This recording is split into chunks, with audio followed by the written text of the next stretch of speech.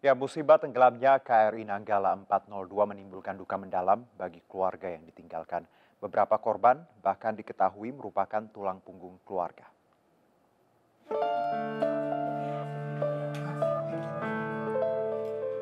Suasana duka menyelimuti kediaman Supriyati di Desa Recosari, Kecamatan Keradenan, Grobogan, Jawa Tengah. Ibunda Kopda Mariono, prajurit TNI korban KRI Nanggala 402 yang tenggelam ini masih belum percaya anak kesayangannya ini kini telah tiada. Supriyati pertama kali mengetahui musibah tenggelamnya KRI Nanggala 402 melalui layar televisi. Namun, ibu tiga anak tersebut baru mendapat kepastian jika anaknya ikut menjadi korban setelah dikabari menantunya yang tinggal di asrama TNI Surabaya. Supriyati menceritakan awalnya Kopda Mariono datang ke rumah untuk berlibur. Namun tiba-tiba ia mendapatkan panggilan mendadak dan langsung pergi tanpa berpamitan kepada ibu dan keluarganya yang lain. Dengan gugurnya Kopda Mariono, keluarga kehilangan tulang punggung. Selama ini anak kedua Supriyati tersebut selalu membiayai hidup ibu, kakak, adik, serta istri dan kedua anaknya yang masih balita. Kemarin dapat informasi itu dari mana itu? Dari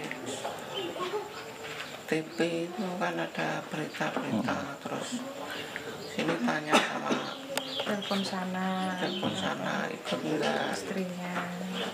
Ternyata ikut. Hmm. itu ternyata anak kami ikut.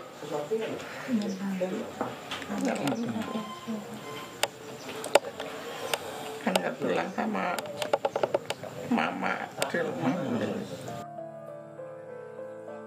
Suasana duka juga menyelimuti kediaman Sertu Yoto Eki Setiawan di Desa Segara Langu, Kecamatan Cipari, Cilacap. Warga dan tetangga masih berdatangan untuk mengucapkan bela sungkawa. Sertu Yoto Eki diketahui baru menikah enam bulan yang lalu. Saat ini sang istri tengah mengandung lima bulan. Sebelum berangkat bertugas di KRI Nanggala 402, Sertu Toyo Eki sempat berpesan melalui telepon genggam kepada adiknya untuk menjaga orang tuanya. Anu lewat WA sih. Iya terus? Jagain adiknya ya kayak gitu. Sama mbahnya ibu. Baru udah keluarga baru enam bulan Pihak keluarga mengaku ikhlas dengan kepergian putra kesayangannya. Mereka berharap jenazah Sertu Yoto Eki Setiawan bisa ditemukan agar bisa dimakamkan di tanah kelahirannya.